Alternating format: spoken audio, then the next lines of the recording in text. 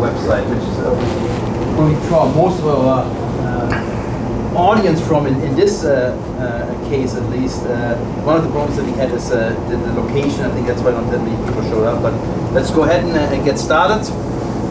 good afternoon, ladies and gentlemen. I would like to introduce to you Mr. Roy Eichhorn, who's going to talk to us about the so-called Ghost Army of World War II. Roy is the former Director of Research and Development of the Army Management Staff College at Fort Belvoir, Virginia. He has spent more than 30 years with the Army and across DoD in uh, teaching, research, and consulting. Roy has done extensive research on U.S. military deception, has contributed to three books on the subject, and was a research and advisor for the Ghost Army documentary film, which first appeared on uh, PBS. He uses the, uses the Ghost Army for educational case studies in both creativity and leadership and provides consulting on deception to Army and other government organizations. Roy's Army engineer roots uh, go back to the Civil War, where his great-great-grandfather served in the 1st New York Volunteer Engineer Regiment. He has also a personal connection to the Ghost Army. Uh, his stepfather, uh, George Martin, was a deception artist in the 6th or 3rd uh, Camouflage Engineer Battalion and was also assigned as the battalion photographer shortly before D-Day. So some of the pictures we'll see today were actually taken uh, uh by his uh, uh, stepfather. Roy has a BA and MA degree in anthropology. He holds a graduate certificate in defense and strategic studies from Missouri State and is a graduate of both the Army Command and General Staff College and the Army Management Staff College's Sustaining Base Leadership and Management Program. Uh, he's a licensed fixed wing pilot holds certificates as a dive master, a master scuba diver, and as an underwater uh, archaeologist.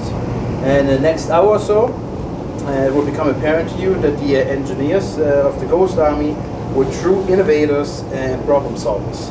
Very much uh, like their engineer predecessors and the engineers of tomorrow, which we obviously here to support and, and to educate. Um, so without further ado, uh, I hereby uh, uh, present to you Mr. Roy Eichhorn with Engineering Deception. Thank you. Well, good afternoon.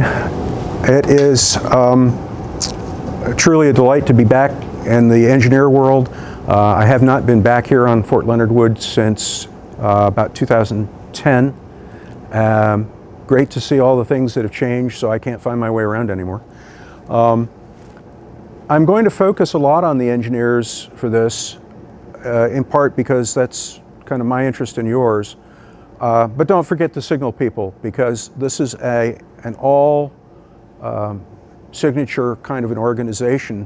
That's part of what made it unique.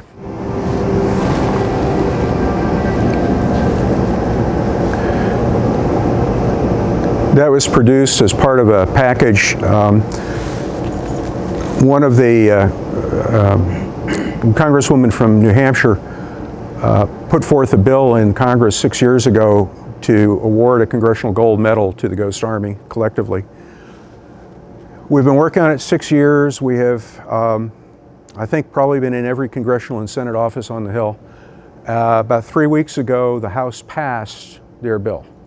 So we are now uh, much more focused on the Senate. We currently have 19 Senate co-sponsors, um, and we're, we're down to 11 surviving veterans. So we're hoping to uh, get that through. Uh, and the families are very interested in it. The men were told to keep, keep, excuse me, keep quiet for 51 years.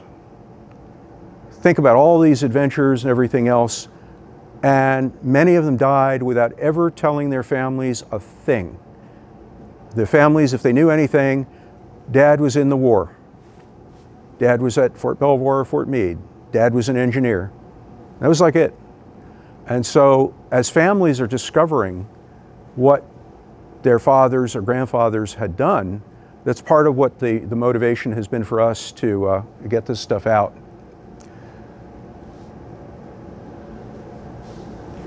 It starts with the Joint Psychological Warfare Committee, again, one of those obscure things most people don't know about, um, looking at deception as being something we needed to do. And this is only five months after Pearl Harbor, but already we're understanding that um, we need space to maneuver, and part of what deception does is gives you that. The concept of the 23rd Special Troops was originally um, claimed to be the idea of uh, Major Ralph Ingersoll. Ingersoll was a journalist, he was the editor of Life magazine, um, and he decided to sign up. Uh, he is considered the father of photojournalism. What he had done is he had been in North Africa with General Devers of the American Army, and uh, Ingersoll saw the deception work that the British were doing. And so he claimed, he took it back and, you know, very inventive and he put it together and he sold it. Well, a couple things are wrong. The first is, if you're there as a major with a four-star general and the four-star general sends the note saying, hey, we need to do this, who probably gets credit for it? probably General Devers. Um, but the other thing is that what Ingersoll observed was the British taking three generations of experience from the American Civil War. A lot of the tactics that you have here come from the, uh, particularly the work of Stonewall Jackson. The Valley Campaign is uh, one of the things that I've done with the command group from PSYOP, which continues the deception business. And in your, in your book, Essayons, which I, I just recently got, so I haven't read the whole thing, and I will not I probably won't survive a quiz. But here on page 76, we talk about this fellow that goes and talks to Stonewall Jackson. And uh, his name is Hitchcock, or uh, sorry, Hetchworth. And Hotchkiss is told, I want you to make me a map of the valley from Harper's Ferry to Lexington showing all the points of offense and defense in those places. So Hotchkiss becomes the topographic engineer first for Stonewall Jackson and then for Lee for the rest of the war. Jackson's Valley campaign is absolutely amazing from a military standpoint. He takes what he's gotten from his topographical engineer, he takes what he knows as a tactical and operational commander, and he merges the two and then adds deception. The Valley campaign is one that I would commend to you because with a, force that never exceeded 1,100 soldiers, Stonewall Jackson engaged and defeated three Union armies. So he was able to use the terrain and work it in ways that, that made all that come together. So what Ingersoll sees and what Devers sees is in fact what a British officer in 1875, he found surviving members of Jackson's staff, wrote up a very detailed thing and he particularly he boiled down the concepts of deception. Those were learned by successive generations of German off, or of uh, British officers. Sorry, I was looking, thinking of home. Um, but they uh, they did it in the Boer War, they did it in World War I, and so his commander in, in North Africa is wandering around making statements, and his men thought he was perhaps going a little crazy. But in fact, what he was doing is he's wandering around in the North African desert quoting Stonewall Jackson. That was lost on the Americans. And so, as far as they knew, this was this great British thing, and they were going to go one better and create a unit. And the unit would have to be Initially, it was visual. So they said, okay, what should this unit be? And the, I'm gonna get this wrong again. There we go. So they came up and said, okay, we need a camouflage battalion as the core unit. And the Army had created what uh, I refer to as the 600 series, 601, 602. So 603rd was selected out of the other camouflage battalions to be the core element. And then they said, we also need combat engineers because we're going to be right up on the front line. We're going to need security. We're also going to have to build things. We're going to have to do revetments as part of the, you know. And so the 406th Engineer Combat, uh, Company Combat, was taken from the Desert Maneuvers. It was the best engineer company of the, uh, that cycle in the Desert Maneuvers, and they were added. They were both basically TO&E units at the time. As time went on, they then added a signal service company and finally the 3132, which is specifically designed for sonic uh, deception. I'm not going to speak much about them. Uh, we have got a movie we're doing in Branson on the 6th in the IMAX theaters. Uh, that'll go into a lot more of the signal stuff as well. So the basic idea starts coalescing in December of 1943. And the guy in the center is Colonel Billy Harris. And he is designated the deception officer for the European theater. Harris does two things. One is he puts together a report and says, we need operational level deception. And it needs to be visual and it needs to be signal and it needs to be able to portray two divisions. He also gets moved over to the 1st U.S. Army Group, which is often referred to as Patton's Fake Army. I didn't realize until I started getting into all this uh, research, it wasn't entirely fake.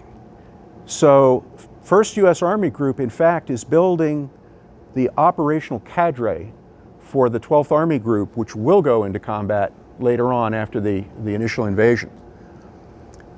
The, the only unit created specifically for FUSAG was the 3103rd uh, Signal Battalion, and that was strategic deception primarily. So Eisenhower, actually Devers for Eisenhower, sends to General Marshall a note, December 30 or 43, that says, create this. And all in one shot, he, you can, again, walk the dog and look at force generation. We still do it the same way today. He's got a mission needs statement, an operational requirements document. He goes through all the solution sets, doctrine, training, organization, leadership, uh, materiel. Uh, in the old days we used S for soldiers. I guess now it's personnel and facilities. Um, and also the uh, startings of a qualitative and quantitative personnel record inventory. So this is all being done, and then what he tells the, the person assigned to command, create it, create this unit. At the time, the Army has no doctrine, no real experience base. They've, gotten, they've got a couple of TO&E units, mostly engineers, and um, no idea of how to do it. So they're building it on the fly. And oh, by the way, your operational requirement is have it ready in England by 15 May. They get the, the word on 22 January 44. So they've got that short four and a half month period to create the whole thing, organize it, get it all worked out, and get it to England. So what happens initially, uh, again, this is fairly recent breaking news. Um, we're, we the last big dump of declassification was 2012, but there are still things we keep finding because they were put aside, lost, or deliberately misplaced. So the 23rd Special Troops, the Ghost Army, is assigned to 1st U.S. Army Group, and they do training exercises. But one of their training exercises is Operation Cabbage, and they are doing an all-source electromagnetic spectrum, visual, everything, portraying a complete uh, armored division. So that is going on prior to the D-Day invasion in Patton's 1st U.S. Army Group area. After the invasion and with the breakout into France, Operation Cobra, July 14th, what they do, Bradley, who has been in on this from the beginning, is moved down to Command 12th Army Group. They then take that whole deception package that is in FUSAG headquarters and migrate that into 12th Army Group. So now they're up and running, and then 3rd Army is given to Patton, and they move it out and put General McNair in place because they want to keep the 1st U.S. Army Group deception going. You don't want to suddenly stop a deception and then the enemy goes, oh, wait a minute, that was a fool, so I got to go do this. So that kept up the pressure about an invasion going into the Pas-de-Calais area for quite a while. Now, unfortunately for General McNair, General McNair, as the FUSAG commander, had to go forward and he is observing, and he is seen to be observing, the attack on St. Lo. And unfortunately, that was an attack where we had uh, we were using strategic bombers to do tactical bombing, and it didn't go well. And so General McNair is the highest ranking and first deception soldier to be killed in, in World War II. So here's the operational timeline.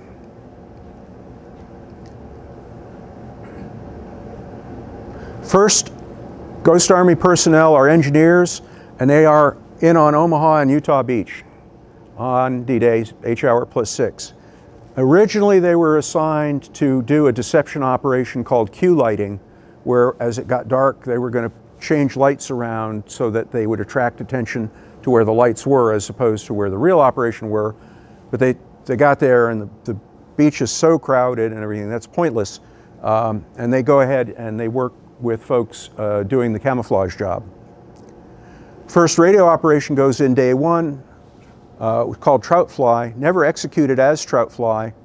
And then another group of engineers comes in from the 603rd, and they come in behind Omaha Beach on D-Day plus 10, and they start doing artillery simulations.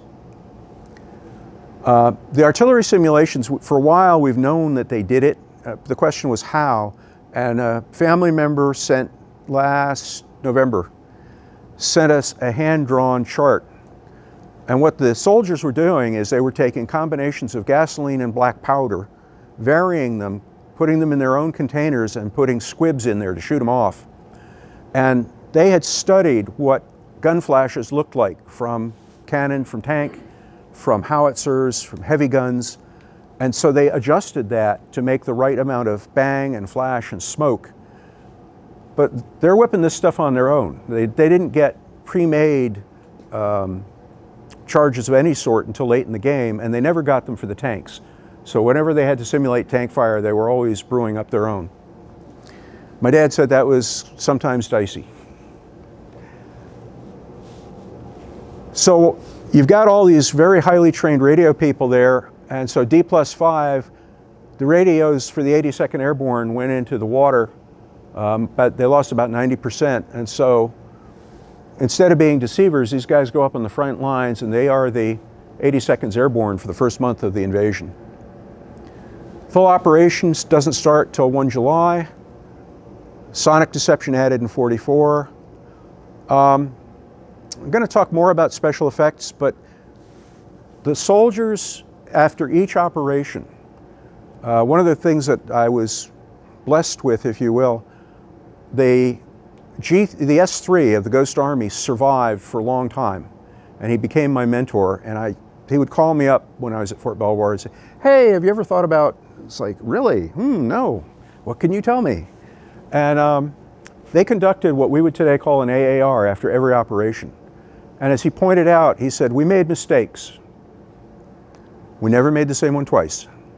And so they're learning in the field and evolving in the field. They're changing equipment, they're changing tactics, technique, and procedure as they go, based on contact with the enemy. They also, it's only a, a few men involved, but they had a stay behind unit during the Battle of the Bulge, and they sat in a hole for two weeks, 24 7, relaying messages between Bradley's headquarters and places like Bastogne. So Bastogne was never actually cut off from communication. Bradley was always able to talk to him. But because there wasn't enough juice in the phone lines, Bradley would call these two privates sitting in a hole. They'd take down the message, hook up to another one of these damaged uh, lines, ring up Bastogne and say, Bradley says, and then they'd get the answer and call back Bradley. And this is going on back and forth in a bombed out phone exchange in Luxembourg that is surrounded by German troops. And occasionally the German troops use the front undamaged part of the building to get out of the rain, to cook a meal or what. So they're very, very close. And I asked, I asked the, one of the guys who's a survivor, um, I said, wow, you did all this, uh, you know, and you kept it all secret, hum hum. I said, uh, what happened, you know, when you got out? He said, well, they came and picked us up after two weeks of doing this, and uh, we were glad they did. We were pretty beat and living in a hole together. And uh, they took us to meet General Bradley. Oh, cool, because we've been talking to him for two weeks.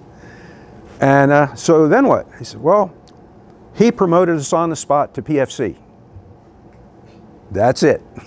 No further recognition. Only minor note here and there in the official history. The final piece, which I'll talk about in more detail because it was a not a big one, but it was important to them and very engineer heavy, was uh, displaced person handling. So if you want to build a camouflage and deception unit, what do you do? They went back to a regulation from the 1920s that they had learned from the French, and they said, you want people that are good at fooling the eye. You want artists and designers. You also want people that are good as actors. So they got people that did radio plays. And uh, then they filled that in with sort of standard MOS billets to handle the, the vehicles and motor pools and such. But they also, because they were going to be forward, got additional weapons and explosives training sometimes if you read about the Ghost Army or somebody makes a comment says, oh, they didn't have any guns, da da da da da, that's not true. uh, I've dug out the TOEs and some of the other information plus interviews. Um, for the size unit they were, they were, they were very, very over heavy on uh, 50 cal and 30 caliber machine guns. Uh, they also had lots of explosives uh, and were trained in how to use them. And um, they also picked up things as they went.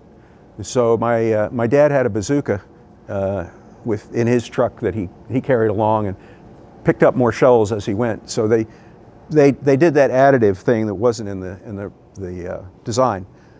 But to become deceivers, the camoufleurs became uh, or changed about 40, up to 40% of their organization. This is what they started with. This was standard engineering practice at the time. World War I flat tops. Uh, and there you can see they're, they're building it. And then you'd open it up to fire the gun through. You fired the gun, put the gun down, flip the flap top back. And it was pr primarily designed against aerial observation.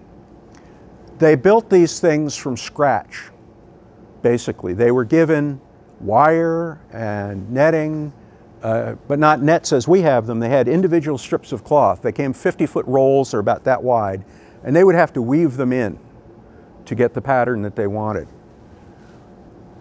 A lot of these, uh, actually all the artists have been trained in Cubism, going back to uh, the French Impressionists, or the uh, French Modernists. And the way these things work is not necessarily the pattern on the top. It's when the sun hits them, what those pieces of cloth do is they break up the sunlight coming down through and it breaks up the image underneath to a point where the eye can't get the brain to put it back together. And that's basically cubism. Think uh, Picasso. They also got basic engineering training. Um, my dad's comment on that was funny in that he said, okay, go get your own lumber. He said, these are artists from New York City and Philadelphia. They've never used an axe, and they've got to build a bridge. Um, but they did. Um, he said they were happy to get out of there because they weren't too sure that farmer was going to like how well the bridge was built. But that's, I think, the old bridge there in the left. Originally, they were told, okay, now you're deceivers, you're going to have to build decoys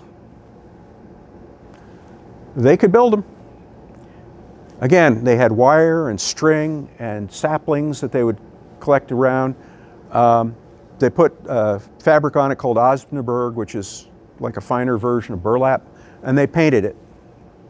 And they would paint different patterns on it. In this case, they just started.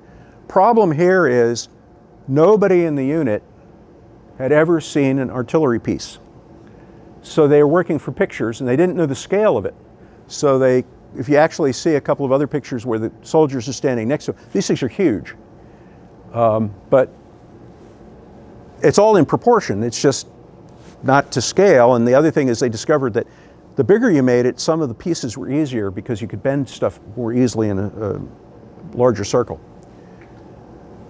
So while this is going on, some other things are happening in the engineer world. This is uh, guys starting to build from saplings a uh, two and a half ton truck frame, which they will then net out with their fabric and stuff that they've got. And this was what they were expecting to do when they got to Europe. They didn't have anything else. Well, what else is going on? The Engineer Camouflage Laboratory at Fort Belvoir is experimenting with something else. They had tried rigid frames. This is what they settled on, which was an inflatable. Those folks don't know it yet. And they're still working some kinks out, and they're trying to get these things into production. And there are a whole series of production issues and production creations that have to be done to make it happen. They also, uh, this is the first instance I found, that is 1944, roughly February of 1944, and that, ladies and gentlemen, is a drone. They had remote controlled aircraft. They were used for anti-aircraft training. Um, but they were fully, fully operational. I mean, they flew just fine. The concepts were taken from that and applied to B-17s that were then filled with explosives and used as giant flying bombs. So the visual deception got better and better and the uh, camouflage lab started sending these things out to them as they were getting produced. There were several models of some of them. Uh, probably my, one of my favorites is the bottom right-hand corner. That's an observation plane all done out of inflated rubber with cloth coverings. Here's one of the things you learn. Say you have a, a tank and you want to do deception. Well, I can inflate a tank on my front lawn and somebody's going to come by and go, hey, there's something that looks like a tank on your front lawn. It's not going to convince anyone. The airplane is an example. Really quickly, they realized you can't just inflate an airplane and say, here are my spotter planes for this unit. You have to have a logical looking place for it to take off and land from. And you need a windsock. And you need them arrayed in protective uh, according to protective doctrines so that they can't be shot up as easily. So actually your inflatable airplane becomes a whole series of decisions you have to make and that's where eh, the combat engineers come in because uh, they help them get this stuff out. Now, how good were they? They were so good real airplanes landed on their airstrips and they were told, go away, go away, go away.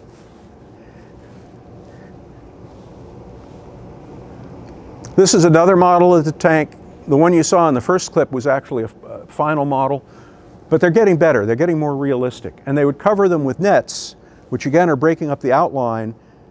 And they were pretty good at calculating what the brain would process and what someone would see.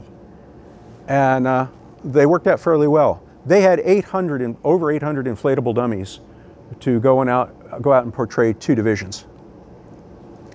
Um, can you drop the light for a moment? Okay.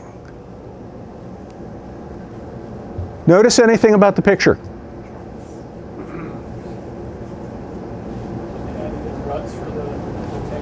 I'm sorry? It looks like they added in ruts for the tank tracks.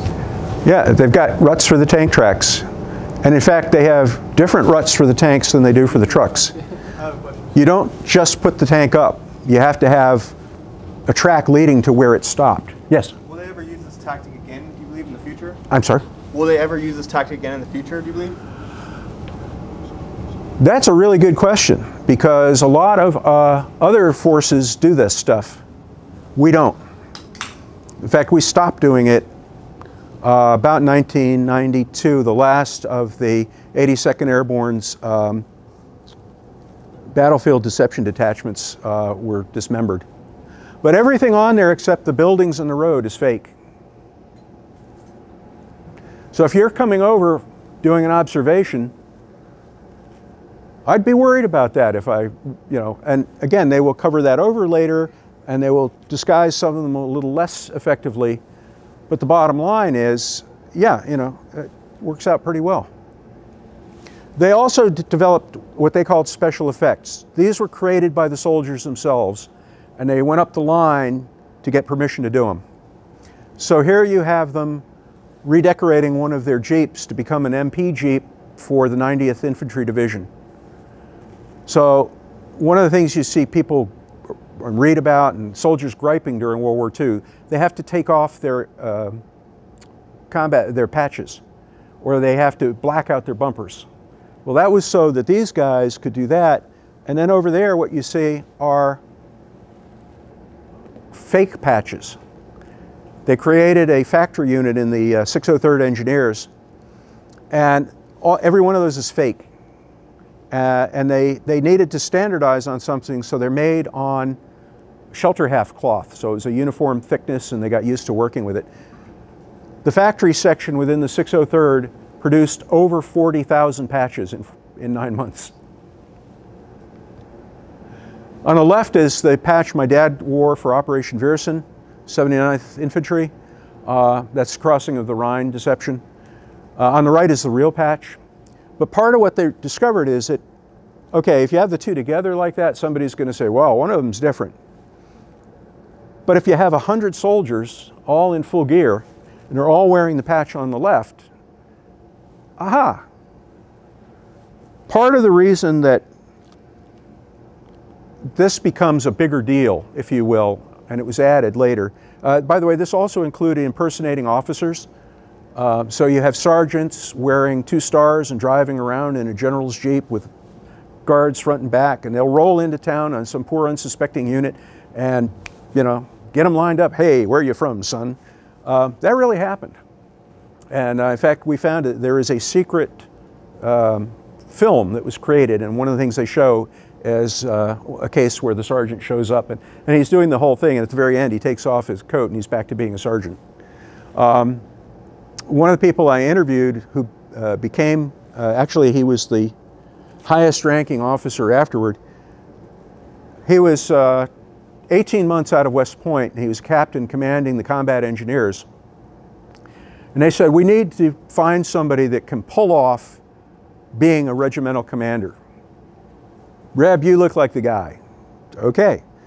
So, with, per, with permission from headquarters, he puts on Eagles.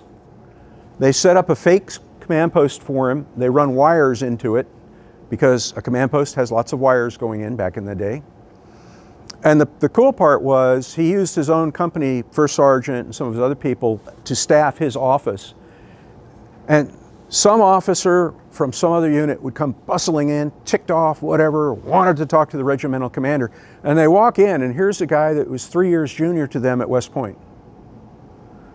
He said no one ever asked him how he became a colonel so fast, but they all asked his first sergeant, who was primed to answer, hey, wartime, you know, the Army does things, right time, right place, and they'd go out muttering. Reb would ultimately become a major general, and he was the uh, uh, chief of military construction. So were those, were those patches, they were worn for enemy deception? I'm sorry? They were worn for enemy deception, so they would go out and then be seen? In, in part, yeah, and it, so that if it, um, there's been an argument about, um, well, you've got all this stuff, but the Luftwaffe is not doing too well at this point in time. Um, you're, you're putting on a show for no good reason, probably won't do any good. The answer to that comes actually from uh, research uh, published a few years ago by uh, Neitzel in Germany. And it turns out that there was a system in place as the German army retreated. The SS would leave an officer and a senior NCO in each village town whose job it was to collect people that would become the basis for an insurgency. And the British caught it on uh, audio with two Germans that had been captured talking to each other, and they got the detail on it. So, yes, there were stay behind agents, and it was organized. And because the German army was retreating backward, they were retreating onto their own lines of communication. They had telephone communication town by town by town going back. And so, one of the things the Ghost Army did uh, they, they sent people behind the lines to disrupt the phone communication to stop that, one. Two, um, it forced the German army to go more radio, and we could intercept their radio. So part of, part of it was disruption for disrupting the intelligence part, part of it was to get more radio traffic. So here's the camo lab again. And this is what one of those two and a half ton trucks looks like undressed. Again, they're thinking of shape and form and color. If you just look at the skeleton, uh, it looks like a balloon party, you know, where people are making balloon animals. But once you cover it and paint it, and they did a lot of the painting in the field. Some of it was issued that way. Initially, they had to paint their own stuff. Um, and at a distance, and you put some trees there, uh, looks pretty good. They also discovered early on that when you're mimicking, you want to be a deceiver. You want to make it look like you are a unit. What do units have? They have logistics. So you can't just put out tanks, you can't just put out howitzers. If you're, a, if you're imitating a, uh, an armored division, as a minimum, an armored division ate 15,000 gallons of gas a day. You have to have fuel haulers. And so, again, you'll read here stories of soldiers griping about, we pulled in and we stopped for two hours at this stupid place, and then we went, you know, no good reason, we should have been home for chow. They were there, in many cases, to be part of a deception.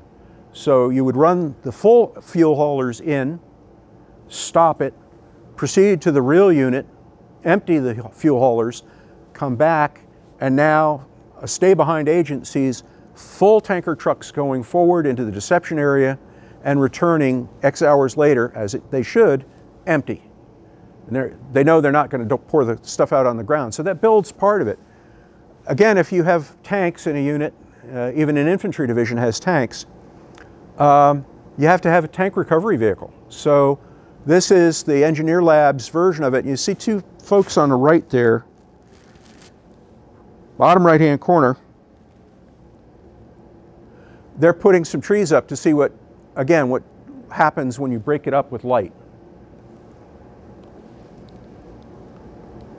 That's what it really looks like. Again, it's just a series of balloons banded together, covered with balloon cloth, and painted.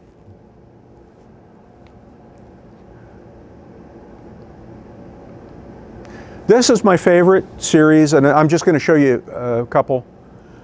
But that's a, a, landing craft tank, and look at the look at the vehicles that are sorted on there. This is off of uh, either Castle Point or White Stone Point uh, at Belvoir in the river.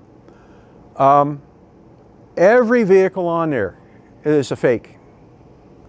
The tank, well, it's not the best tank yet, but the trucks and the other equipment, particularly when photographed from the air, look good.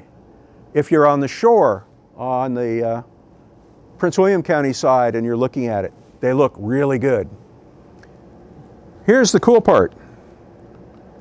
The landing craft is also a fake. The engineer uh, labs came up with this. Uh, we sent a hundred of them to the British. They were called, the Brits called them big bobs because they float, you know, bobbed around. But look at the detail and by the time you put it together and paint it up a little bit, looks pretty good. And so one of the things that we had discovered when the um, Germans were preparing for the invasion of Britain, we were counting the number of landing barges that were added each week. And we knew, we could guesstimate, how much can you put in a landing barge? And that was making the British very, very nervous. And so down the road, they said, well, what if we add landing barges for part of our strategic deception? So that also comes out of the engineer lab, although the Ghost Army itself used all the vehicles, but not the big boat. This is just a representation. Um, this is from the official history. And on the south, you see the dark colored or blacked in units. Those are real units. The furthest real unit north is a cavalry squadron. The area that is not covered by troops is 50 miles. The only thing between the entire German army and Paris at that point is the Ghost Army and their rubber dummies. Normally, they, they are the 6th uh, Armored Division at that point. Normally, they tried to not have a deception run for very long, maybe three, four days ideally. because Patton was still engaged around Metz, he couldn't send any more real combat power north. So his entire line up there for that 50 mile strip is that one cavalry squadron and the fake 6th Armored.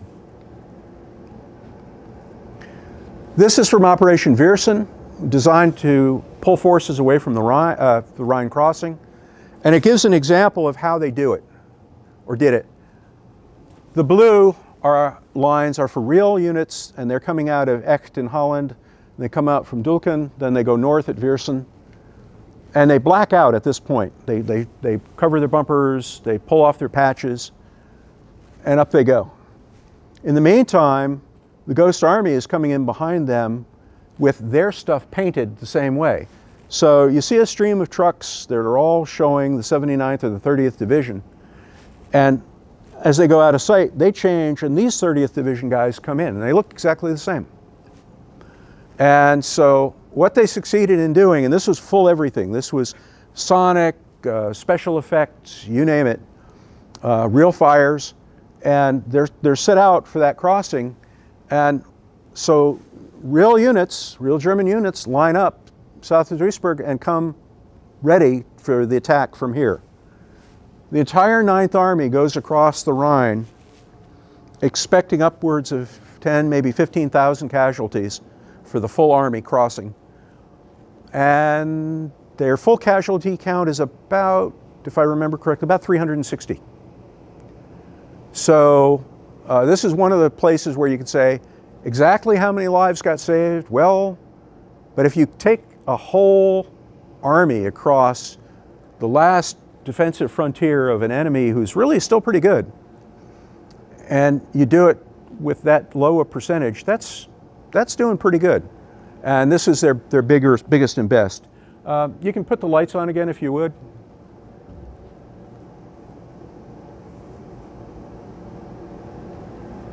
Oh, I'm sorry. Could you take it down just one? This is another one of the, everything there except the buildings and the real road is uh, deceptive material. This is part of the deception for Viersen. Okay, thanks. The last mission was a weird one. They had finished with Operation Viersen. The Ninth Army is across the Rhine. Some of the Ghost Army units are moving forward, and they get as far as Czechoslovakia, actually. And, um, but the Army has a problem. As they are moving forward, they're starting to liberate concentration camps and forced labor camps. And there are all these people in there, some of whom are right on the edge of falling over dead with disease or starvation. The Army has civil affairs and military government troops, but not many. And none of them are trained for this. So they looked around and they said, who have we got? Oh, we've got these engineers. They set up camps, and uh, in fact, one of the things that happens is the combat engineers commander establishes a precedent which we use today. The people in the camps, they're liberated, right? You should be happy. Wrong. They're trying to kill each other. The Poles and the Russians are going at it. Uh, the Serbs are not happy with other folks. And so uh, Captain, at that point, Reb, separates them by nationality. So each camp becomes predominantly one or at least nationalities that don't want to kill each other immediately. You've got a complete breakdown of law and order and health and safety because as the, the army moves out, you've got all these people that have nothing. And so they go in and they establish portable water points. That's one of the things the combat engineers had extra water point gear. Uh, so they put up water points. They fix up sanitation and establish sanitation. The engineers go out in various ways and acquire food off the local um, economy in various ways. Probably my favorite is there was, were no-go zones around the camps. And where does wildlife go under pressure? Goes where nobody's hunting it. And so the guys would take submachine guns and they would go out and hunt deer. Uh, there were a group of them from Pennsylvania National Guard Unit. And they would go out and hunt deer and bring them back and they would butcher them there in the camps and feed the prisoners. Um, ultimately, you have about 700 engineers, mostly, um, taking care of over 100,000 people. So, as my dad said, congratulations, you now have 150 starving sick people. Take care of them. Um, in the official history, they, they took a, took a uh, poll. 29 languages were spoken. Now, the upside of it was they, there were a lot of first generation and immigrants in the unit, and so they actually could speak to, they had somebody that could communicate with folks in there. They didn't have anybody that couldn't. So, in final tally for the operation, 21 major deceptions, five propaganda missions, which they were told not to do, uh, but then told to do. Uh, they conducted behind the lines missions to do both disruption and intelligence. Probably, I've, heard figures as high as 40,000 American lives, probably somewhere in the 15 to 30,000 lives saved is a reasonable one. And uh, also caring for and protecting over 100,000 of the uh, concentration and labor camp survivors, if they saved 1% of those people that were dying like flies from what they did, okay, there's a thousand people saved per percentage point. Uh, and if you look at that period of history, it looks very much like the sort of thing you might see in Iraq or you might see in Afghanistan. So there are lessons learned here. And finally, the other thing that they did, which was an odd one because some of the soldiers responded to it very, very well. Other soldiers were not so happy about it. Um, because Russian soldiers were attacking German civilians, particularly if they were in more isolated locations, the Ghost Army was sending out units, and everyone I've identified was an engineer unit. Um, guys that had never shot fired their weapon in anger are now shooting at Russians. Um, and interesting to read and discuss some of that. This was some of the, one of the things that affected my, my dad pretty seriously. And this was part of what caused, caused me to start digging into it. Because nowhere could I find some of the stuff on these operations. And it turns out that um, Ghost Army soldiers, and particularly a couple of the officers, really put themselves at huge risk to make sure people didn't get killed when the Russians got their hands on them. So there are a lot of Poles that are alive today because uh, Lieutenant Colonel Cliff Simonson deliberately violated his orders again and again and again, lied, cheated, and stole, and hid these people all over until we could say, oh, we lost, these guys are dead, these guys escaped, whatever. And they never got back to the Soviets. And I actually got to meet the sons and grandsons of these Polish soldiers when I was in, serving in Germany. And it was really cool because it was like, wow, that's how you got here. And they stayed. So let's, I want to talk a little bit about the soldiers themselves. And again, I'm going to focus on the engineers. Um, this was done for some uh, uh, families with children, small children, uh, that simply had been abandoned as the German army pushed out. And um, that's a comment from uh, Jim Laubheimer on the uh, 603rd. And it, I guess I didn't think about it, uh, you know, but the, the additional line was what caught me. Half the guys in that group were Jewish. And they're all singing Christmas carols because that's what these kids need. And they also, because a lot of them are artists, they drew. So the soldiers got together and they made um, goodie kits for the kids and for the families because um, truly nothing. So a bottle of aspirin was like a big deal.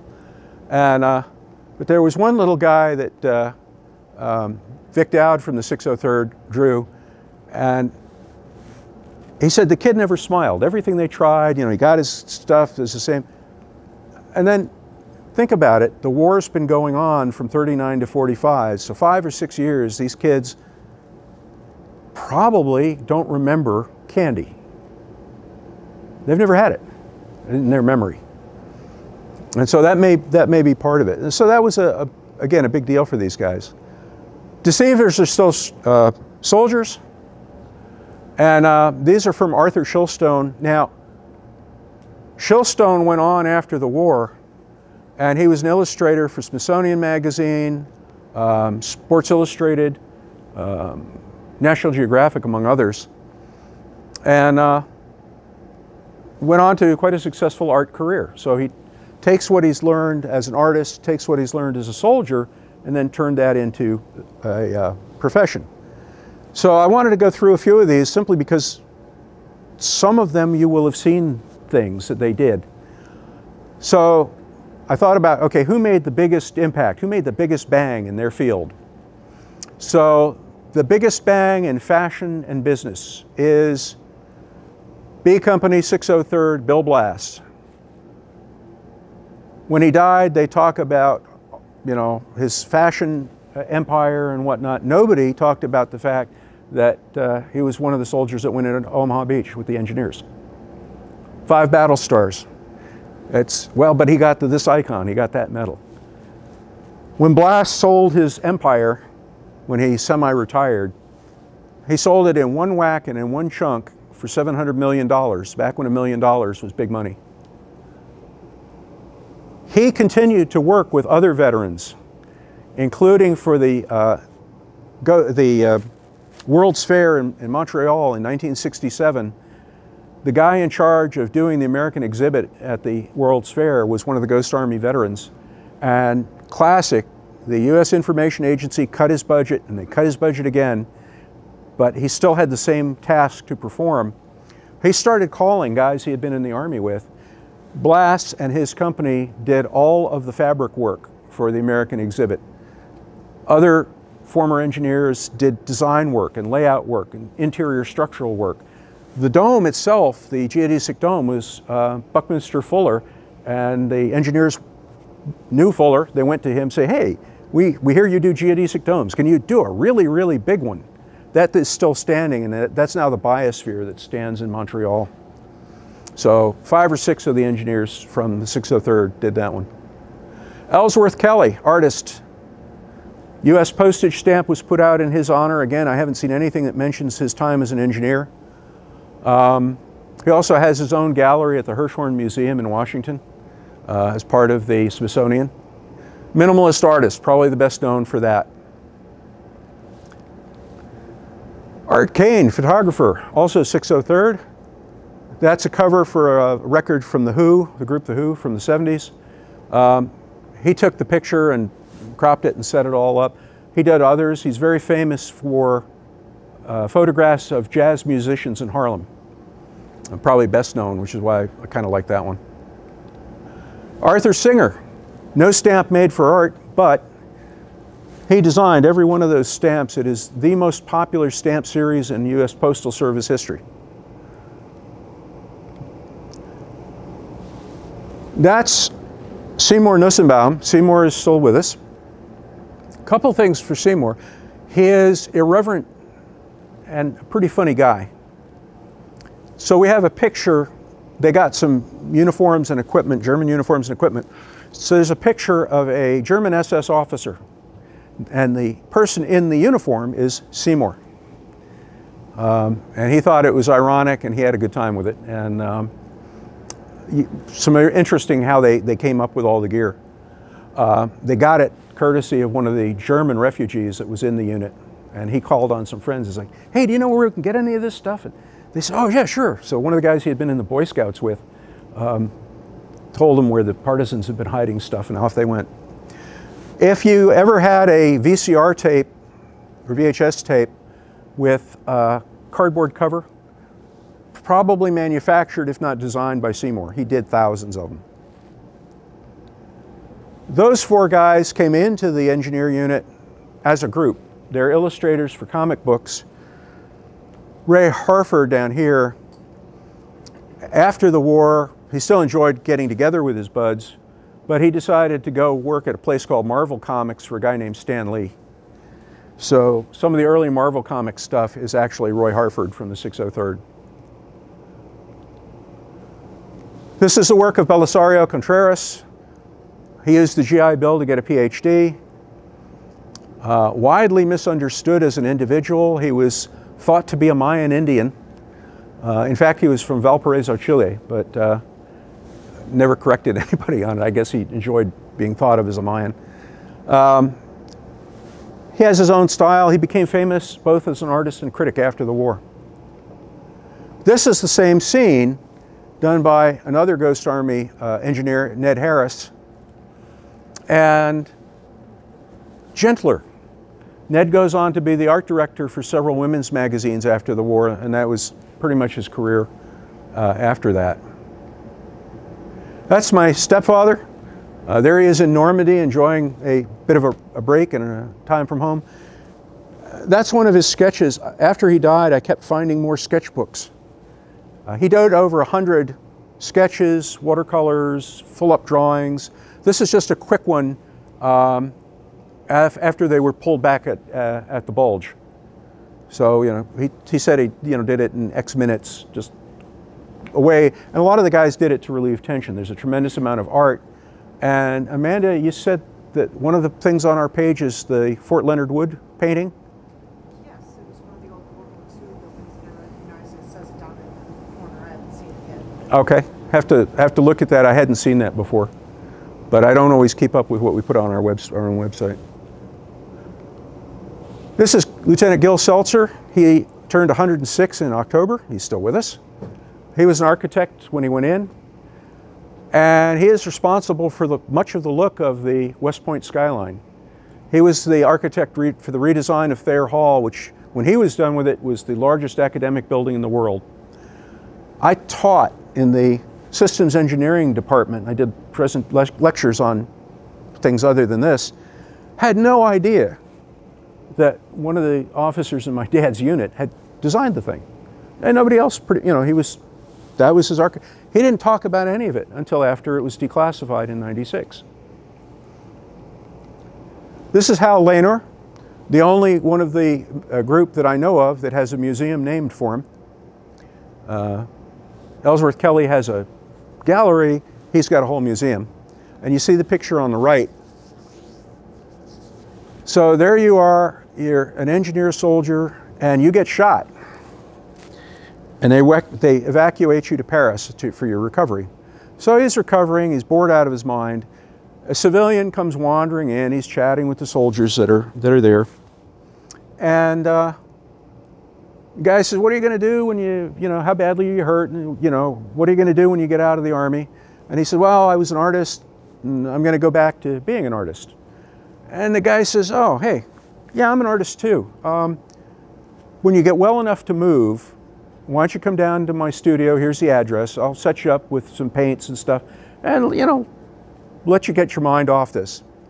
So he shows up at the studio, and the, the guy that's out there visiting, it's Pablo Picasso. And you can see from his pre-Picasso work to his post-Picasso work, much more cubism, much more Picasso style. Actually, he's one of two of the Ghost Army soldiers that ended up in Picasso's studio. And that may be why he's got his own museum, I don't know. That's the biggest bang. That's Irv Meyer from the 406th Combat Engineers. He liked engineering so much that after the war, he went back, finished college in engineering, and he designed weapons for the rest of his career. And he is the one of the key people behind this bit of, anybody know what that is? That's pretty obscure.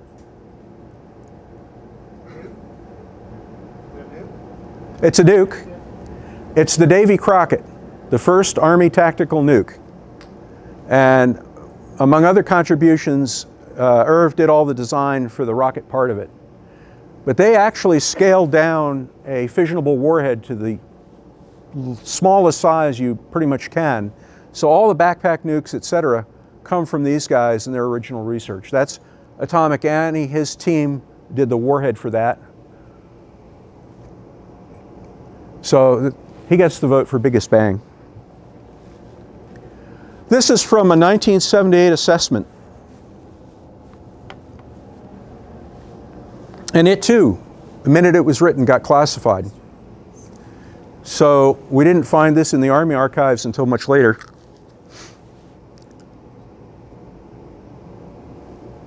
But there it is. And that's the brief history. There are so many elements to this, you can't believe it. Um, we are, we, uh, the governor of Missouri signed a thing last year making June 6th Ghost Army Recognition Day. So the first go around, the first time we're going to do it is going to be this next Sunday. And we were like, well, what do we do? So uh, the IMAX theaters at Branson have offered to uh, show uh, the uncut version of our documentary film. And then I and the uh, daughter of one of the other soldiers, we're going to be there to do Q&A.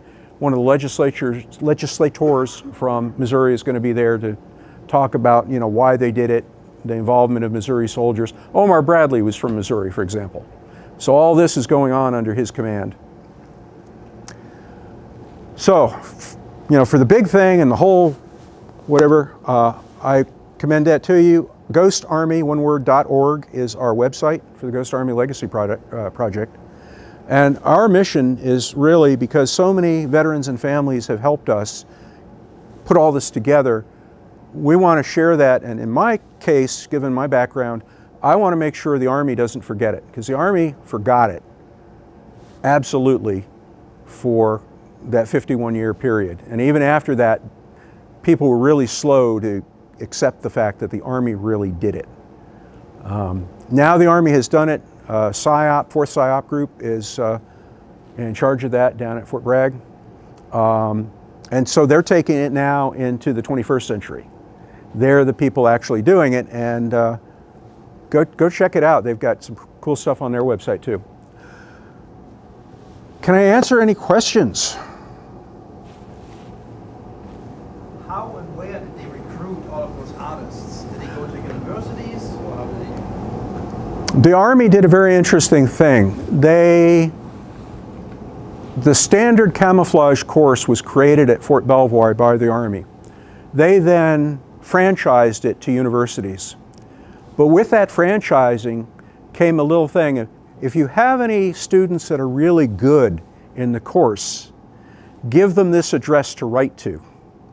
You had to actually apply, if you're going to be a camoufleur, you had to apply and be vetted and accepted before you got into the 603rd engineers. And I think probably the other engineer units as well, the camouflage engineers.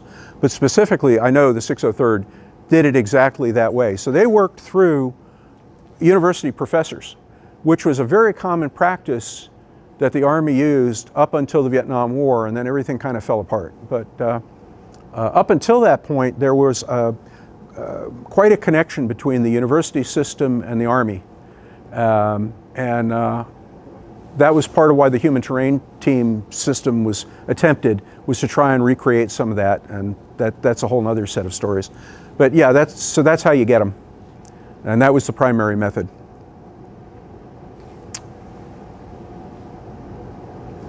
Other questions? All right, well, thank you for inviting me in. Do appreciate it.